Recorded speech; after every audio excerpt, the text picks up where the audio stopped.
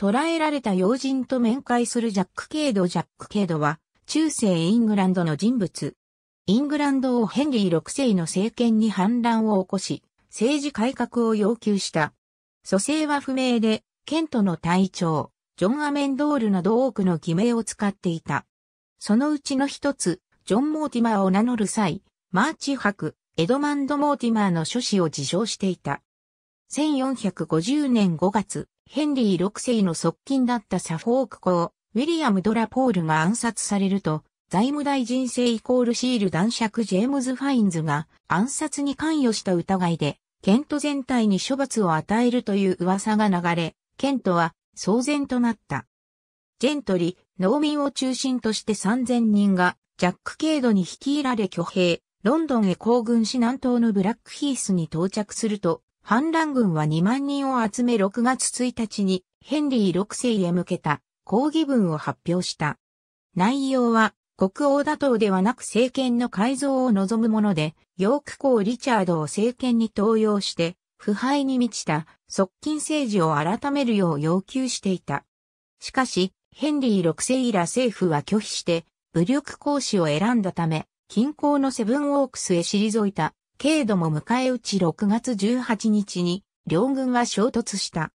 戦いは軍を分割する失策を犯した国王軍が敗れ、ヘンリー6世はウォリックシャーへ逃亡。反乱軍は勢いに乗り、ロンドンへ進軍した。到着後反乱軍は、聖イコールシール男爵ら政府の要人たちを殺害、略奪に走ったが、やがて7月にロンドン橋やサザークで反撃した国王軍と戦い、政府から反乱軍への恩赦が出されたため解散した。ケイドはサセックスへ逃亡したが、追っ手との戦闘で重傷を負い捕らえられ、ロンドンの護送中に死亡した。首は切断されロンドン橋にさらされ、胴体も4つ先にされ反乱に協力の疑いがある町へ送られた。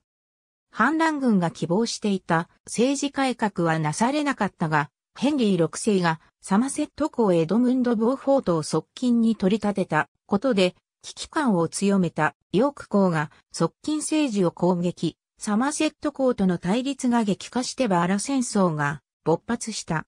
ケイドラ反乱軍の行動は、ジョン・ファストルフの家来で、反乱軍に捕らえられていたジョン・ペインが書き残している。AB 川北 P124、ABC 松村。P113、ロイル P193、ギース P102、ロイル P193、P195、川北 P124、P125、ギース、P102、P107、ロイル、P195、P199。ありがとうございます。